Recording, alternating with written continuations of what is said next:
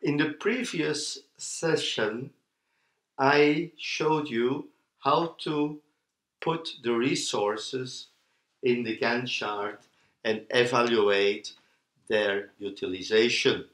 It was a three step process starting from verification of the individual commitment, identifying places in the Gantt where there could be problems when tasks are being done in parallel by the same resource, and then identify the places where the individual commitment is over 100%.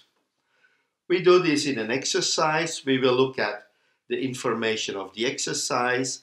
We'll look at the precedence diagram, the basic Gantt we will be using, and then we will evaluate the resources utilization and the resources utilization in the Gantt itself. This is the information related to the exercise. Is the same exercise we already did in section 7, but now I added information about the resource Harry Potter who is working on the activities A, B, E, F, and G.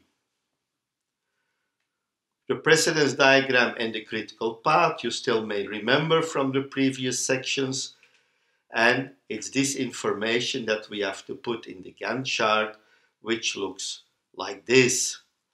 We see again that B, E, H and J are on the critical path and now we have to add the utilization of Harry Potter to this chart. But first, we have to evaluate the individual commitment of Harry Potter. We see in the column Harry Potter that the commitment in all the cases is lower than 100%.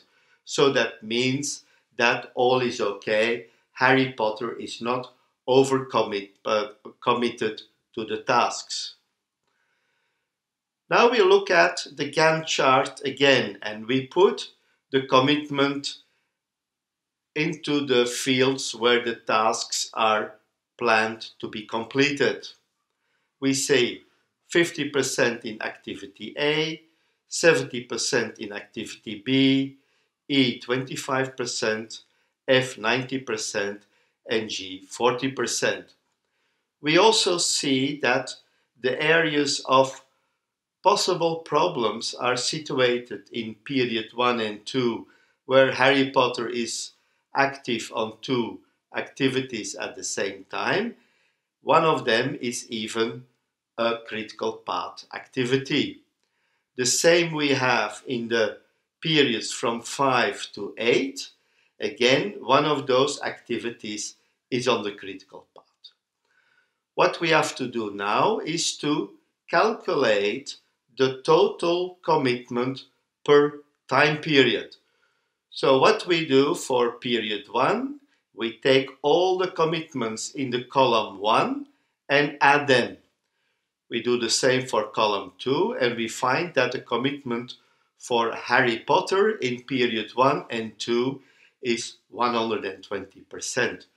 This is clearly more than 100% and we have to resolve a problem in period 1 and 2.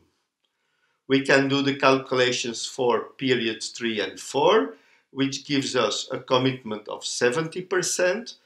This is okay. We are below 70 below 100% I mean and we don't have to take any measures at this moment. When we look at periods 5 and 6 and we calculate the commitment, we see that the commitment is respectively 115 and 155%, and it's clear that we again have a problem in these two periods.